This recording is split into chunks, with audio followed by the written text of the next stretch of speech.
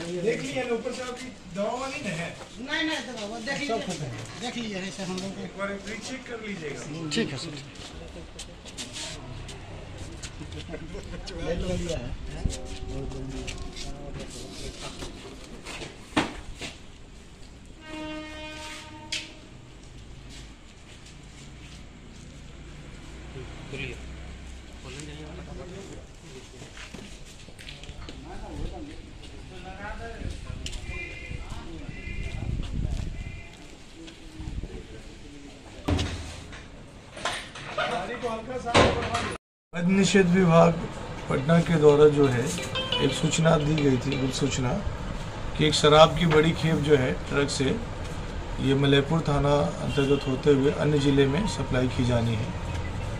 मलयपुर मलयपुर होते हुए इस रास्ते से एक ट्रक की बड़ी शराब लदी खेप जो है अन्य ज़िले में जाना था। उस उस सूचना के आलोक में हम लोगों ने एक छापेमारी दल का गठन किया था।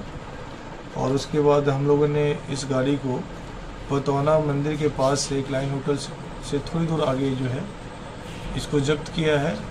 और गाड़ी की तलाशी लेने पे अज्ञात हुआ कि गाड़ी में पीओपी सीमेंट का बहुत सारा बैग है और इसी बैग के अंदर छुपा कर अभी जो काउंटिंग में प्राप्त हुए हैं 240 पेटी शराब बरामद किया गया है। दो सौ चालीस। कहाँ से आ रहा था सर ये शराब? ये शराब गिरिडीह से आ रही थी। और कहाँ डिलीवरी देने आता था? इस बारे में भी अनुसंधान अग्रतर जारी है। अभी हम लोग पूछताछ कर रहे हैं। गिरफ्तारी किसी को हुई है सर? चालक अभी गिरफ़्तार किए गए हैं बाकी अनुसंधान अभी चालक का सर कहाँ के हैं?